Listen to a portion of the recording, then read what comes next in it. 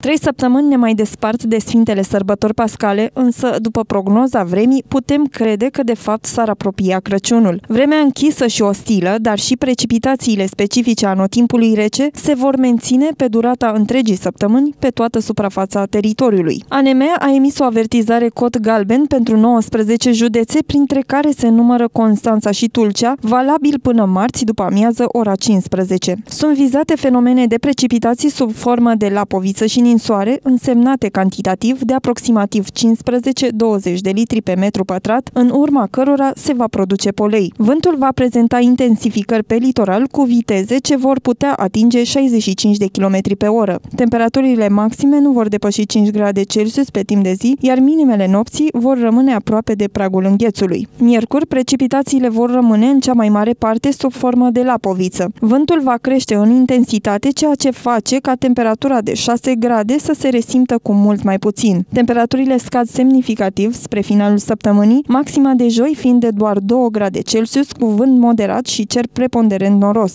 Vineri, temperaturile vor crește ușor până la 4 grade Celsius, însă, în cea mai mare parte a județului, se vor semnala precipitații mixte cu posibilitatea depunerii de polei pe areale extinse. Weekendul va veni cu o încălzire, însă nu va fi o creștere bruscă, maximele și minimele rămânând sub valorile normale din această perioadă.